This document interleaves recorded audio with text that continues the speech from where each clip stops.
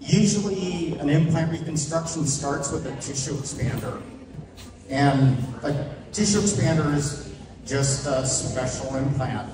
It lets us add fluid after the surgery.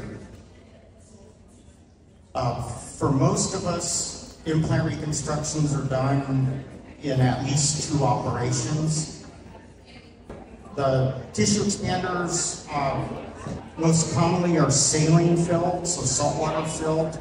Uh, we fill them gradually with fluid out of an IV bag. And they can be placed at the time of the mastectomy or they can be placed later